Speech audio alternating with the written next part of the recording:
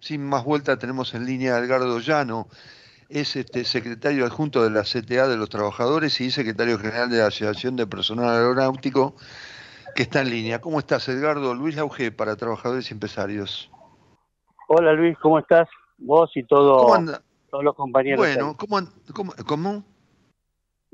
¿Cómo están todos los compañeros ahí? Muy bien, muy bien, muy bien, muy bien. Vos estuviste en OIT, eh, bueno, bien, me imagino que recogiste buenas experiencias, ¿no? Sí, la verdad que estuve, estuvimos en, encabecé la delegación de ITF, la Federación de Transporte a, a Ginebra, un encuentro específicamente de aviación, donde hacía más de 10 años que no nos juntábamos con la OIT por, por ese tema específico. Hubo más de 40 gobiernos, más de 40 representantes de los empleadores de distintos países, y la verdad que tuvimos un resultado positivo y llamativamente muchas de las propuestas nuestras que hacen al, al medio ambiente y a la sustentabilidad de la aviación fueron apoyadas, proyectos nuestros pues, apoyados por el gobierno de Estados Unidos, que, que arrastró al resto de los gobiernos y la verdad que sacar un documento por consenso de la OIT no es fácil, pero fue, fue positivo, fue importante porque hacía 10 años que no podíamos tener una reunión de ese tipo. Así que eso en el plano internacional, bueno, bueno también tenemos la realidad en Argentina, ¿no?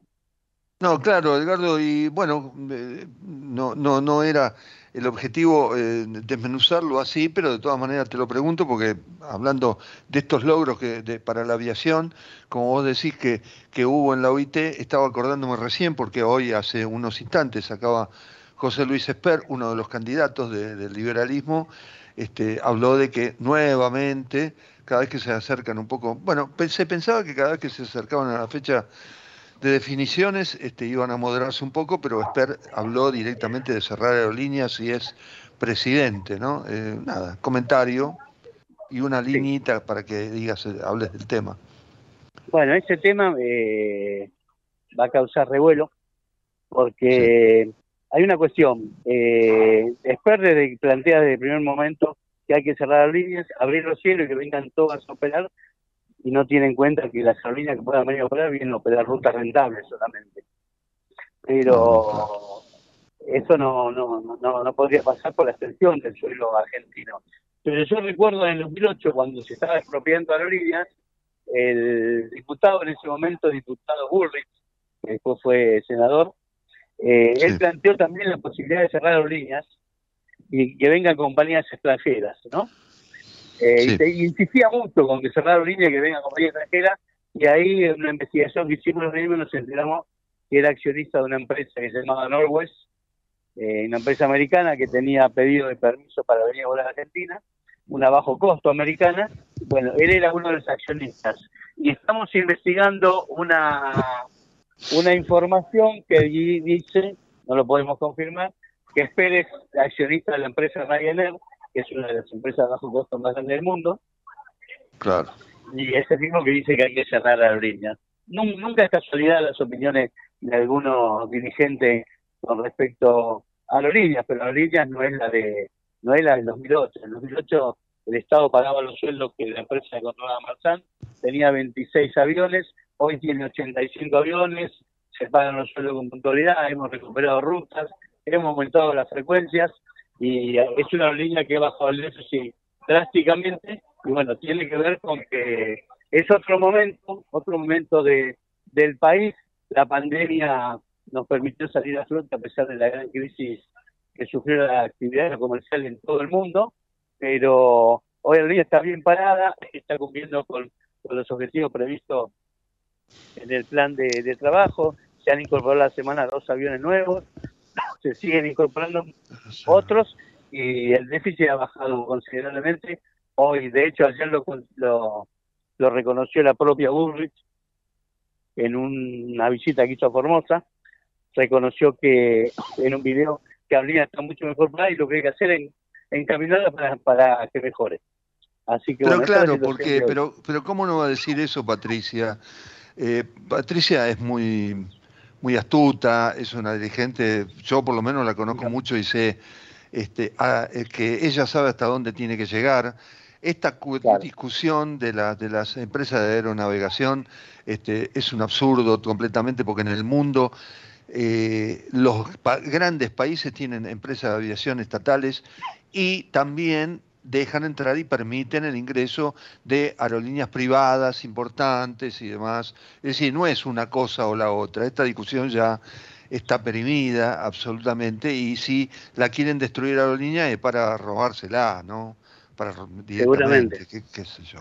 ¿Qué que te diga? Bueno, de, de hecho hay otro otro personaje que también en, campaña vale todo, parece, ¿no? No, es una vergüenza. Esta campaña ha sido una vergüenza. Sí. La reta diciendo que hay que, que no, aerolínea no puede recibir subsidio. Es una vergüenza que una empresa reciba subsidio y nosotros tenemos una información que nos otorgó el propio gobierno de la ciudad, donde el gobierno de la ciudad le da un aporte publicitario de 41 millones de pesos por, por año a Flybondi, una empresa privada, una empresa eh, radicada su casa central en, en Gran Bretaña, y él le da 31 millones de pesos, cuando Aerolíneas, solamente por el uso de la capital, impositivamente paga 1.050 millones de pesos de impuestos por año a la ciudad y no recibe un peso de pauta publicitaria. Por eso digo, de Aerolíneas se agarran todo, porque Aerolíneas vende, Aerolíneas es una empresa mediática y, y, hay, y hay que pegarle o hay que estirarla o hay que acomodarse según la según como venga la campaña. Si conviene pegarle, le pegan. Si no, hace lo de Google que hace un mes decía que había que cerrarla también, y ayer salió a decir que, está bien encaminada. Tiene que ver con una encuesta. Pero, seguro, Edgardo, aparte una de las una de las cosas que hablamos siempre con la producción tiene que ver, sí, con no con los aviones, sino que tiene que ver con el transporte, es así como estamos, y en esta discusión, en su momento fue la discusión con los ferrocarriles, y hoy lamentablemente tenemos el privilegio de tener ferrocarriles que no funcionan o que funcionan muy poco y que ahora se están recapacitando de vuelta, cuando en el mundo el, servicio más barato y más eh, eficaz es el tren, es el ferrocarril, y acá todavía estamos discutiendo esto con ferrocarriles destruidos que dejaron este, otras administraciones. que estamos te estoy un ejemplo que estamos trabajando en la, ITF internacionalmente. Eh, una resolución de la ONU determinó que para el 2050 tendría que haber contaminación cero en el espacio aéreo del mundo, porque por lo que está generando, ¿no? entonces se están eh, se están fabricando nuevos aviones que son más económicos, pero que aparte algunos experimentan con otro tipo de, combustible. Y en, en, Europa ya se está trabajando para que los vuelos de menos de tres horas no no se no se realicen más. Obviamente que eso genera un problema laboral muy grande, pero esos pasajeros se van a ir, la idea es que se van en todo el mundo en tren, los medios de tres horas van a pasar al tren y obviamente en Europa los trenes funcionan.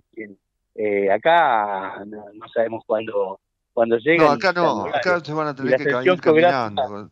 Claro, la sanción geográfica de Argentina hace muy dificultoso eh, que podamos cumplir esa meta desde acá al 2050 salvo que haya un milagro en la política económica y financiera del país que permita crecer a, niveles de tener mala o tener de alta velocidad, que yo lo veo muy difícil por el momento. Por eso estamos a contramano del mundo en algunas cuestiones y en un país como este vienen los candidatos y quieren cerrar la línea, ¿no? Cuando bueno, la verdad, que, la verdad que es un tema, la verdad que es un tema apasionante y escuchártelo decir a vos está, está muy bien porque lo, tenés conocimiento del tema y precisamente estuviste y no podía dejar de estar en el diálogo. La, el sentido más que, nada de la llamada tenía que ver con bueno el apoyo de la CTA de los trabajadores a la candidatura de eh, Eduardo Guado de Pedro, el ministro del Interior. Eh, y mi, no digo reparo, pero eh, a ver, ¿cómo se llegó a esa maduración si es solamente porque se trata de un apoyo y de la vinculación de la CTA con Cristina Fernández de Kirchner? Porque eh, independientemente de que sea un buen tipo, lo que no le veo a Guado de Pedro es no tiene, no tiene conocimiento del público, la CTA te puede aceptar fórmulas, ¿te parece? ¿Es Guado de Pedro o no descarta a Massa, no descarta a otros candidatos? ¿Cómo ves la situación electoral concretamente pensando en los candidatos eh, del Frente de Todos, hoy Frente de Todos? Bueno, en primera instancia el apoyo nuestro de CTA era para Cristina, eh, para encabezar una fórmula. Obviamente está la posición de ella, pero creo que hasta el 24 de junio, si lista, vamos a estar con la expectativa de que pueda ser candidata.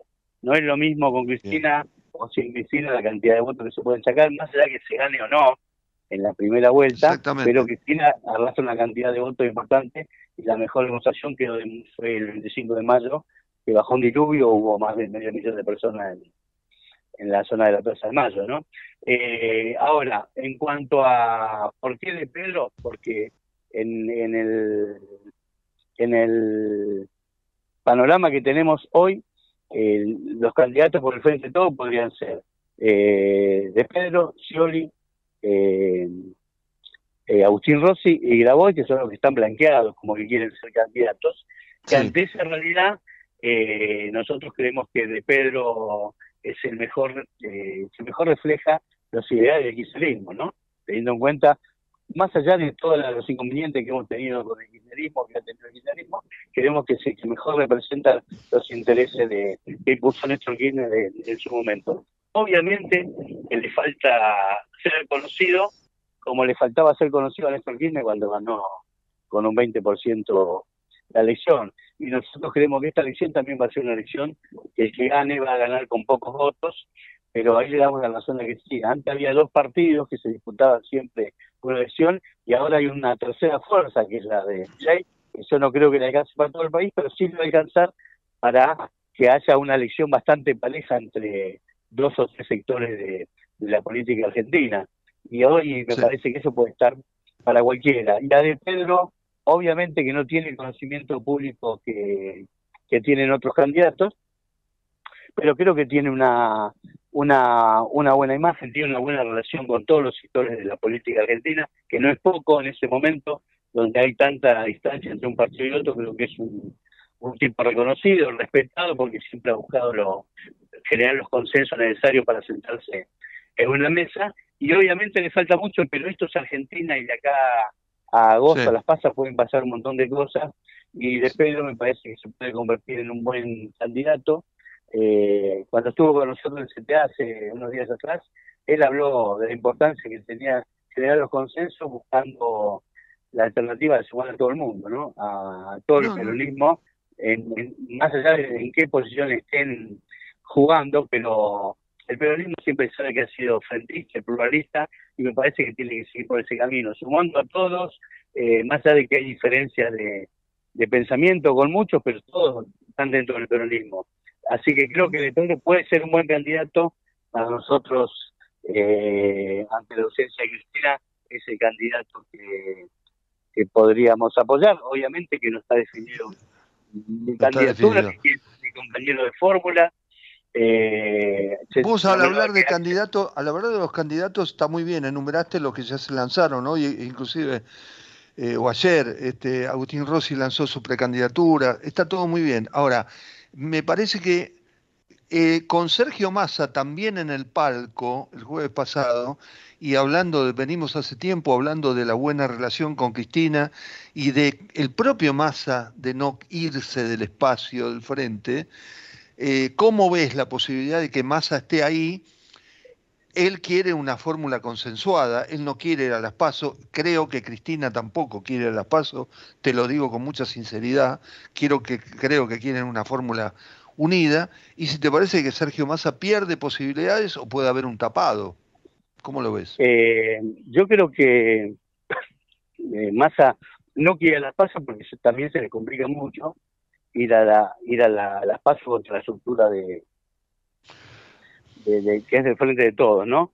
Pero eh, si, analizamos, eh, Massa no se puede ir a ningún lado, porque no hay otro espacio para irse. No se va a ir ni con Milei ni con el macrismo. Con lo cual, creo que tiene que hacer el, esfuerzo de estar ahí. Lo dijo muy claramente. El día del acto estuvo ubicado muy en un lugar muy exclusivo, ¿no? Al lado de Guado de Pedro, que son dos de los que podrían ser candidatos. Eso no, no, no fue casualidad. Eh, creo que él, y, después lo dijo él en un discurso en Mercedes, en el pueblo de, de Pedro, que eh, hay que estar en el lugar que, se necesite más allá de lo que quiera uno. Creo que eso habla de que, desde mi punto de vista, que él podría ser un integrante de la fórmula. No sé si en el primer lugar o en el segundo, pero creo que podría ser un integrante de la fórmula, por eso tiene que ver dónde lo ubicaron el 25 de mayo, el discurso de él de, de ocupar un lugar de, donde se necesite y no donde uno, donde uno Edgardo, quiera tener apetencias personales, ¿no? Edgardo, si va primero en la fórmula, ¿ustedes lo apoyan, la CTA? Eh, nosotros eso es un tema que no lo debatimos todavía, pero hay una cuestión. Si vos me preguntás a mí, eh, no, no es el que más me convence, Massa. Pero acá hay dos proyectos, ¿no? Uno el proyecto de la derecha que crece cada vez más y el proyecto de un peronismo que no pudo aplicar un programa porque, entre otras cosas, la, pandemia perjudicó mucho, más allá de los errores que cometió Alberto Fernández, la pandemia perjudicó mucho para poder aplicar un proyecto inclusive como son, inclusivo como son los que plantea siempre el peronismo. Eh, Massa no me convence a mí para encabezar, pero ante lo que está en juego es el futuro del país, con, con dos proyectos de países distintos, en ese caso, y hablo en nombre personal, no hablo en nombre del CTA, eh, nosotros apoyaríamos a, a Massa porque tenemos esa realidad, ¿no? Esa incertidumbre o esa coyuntura de que es un proyecto u otro y desde el punto de vista de los trabajadores, uno de los proyectos muy dañinos para los trabajadores y el otro puede ser un proyecto de inclusión, de, sumar voluntades de todos los, espacios que quieren sumarse a este a este frente. Así que hoy, por eso digo, obviamente preferimos a De Pedro, pero apoyaríamos una fórmula de ese tipo. Eduardo, eh, para cerrarlo, porque se me termina el bloque, eh, para cerrar este, este, este círculo de aspirantes, y Kisilov, porque, eh, bueno, no, ya no sabe hacer, Axel no sabe qué hacer para ratificar que quiere ser de vuelta a gobernador y que el peronismo no pierda la provincia de Buenos Aires. ¿Podría ser Kisilov candidato a presidente? Bueno, nosotros también con CTA tuvimos en la gobernación una reunión con Axel y él ratificó su intención de, ser solamente candidato a gobernador y nosotros vemos que la candidatura a gobernador la tiene asegurada. Yo no sé si en presidencia de la nación podría pasar lo mismo, aunque podría tener un caudal de votos importante. El problema que tendríamos es, el, hoy creo que la provincia se gana con Axel, con otro candidato no sé, y me parece que sería regal, se perdés la provincia. Algo que tiene seguro y se perdería la nación quizá y la provincia y la capital, bueno, es un tema mucho más difícil, con lo cual volveríamos a estar en la situación eh, después del 2015, ¿no? Perdiendo la nación, la ciudad y la, y la provincia. Me parece que hay que asegurar lo que se puede asegurar, que es la provincia, y buscar el mejor candidato para la presidencia de la nación, para por lo menos sacar, eh, es una elección que es difícil, que es, probable que el oficialismo la pierda, pero hay que sacar la mayor cantidad de votos posible para sumar legisladores que permitan en el Congreso una, una paridad de, de espacios que para poder trabajar de, de otra manera. ¿no? Edgardo, la verdad que te, voy a volver a llamar porque es muy abarcativo lo tuyo, además está pudimos hablar de un tema también como la, eh, aeronavegación comercial y, este tema que es tan importante eh, y el transporte que es tan importante para la gente y toda la actualidad política que ahora, desde ahora, yo creo que empezó en serio una campaña y está muy bueno llamarte para escuchar tus puntos de vista. Yo te agradezco mucho la participación en Trabajadores y Empresarios. Gracias Luis y un saludo a todo el equipo. Un abrazo, gracias. Gracias. Edgardo Llano, secretario de, adjunto de la CTA de los Trabajadores y secretario general de la Asociación de Personal Aeronáutico, estuvo en Trabajadores y Empresarios. Ya volvemos.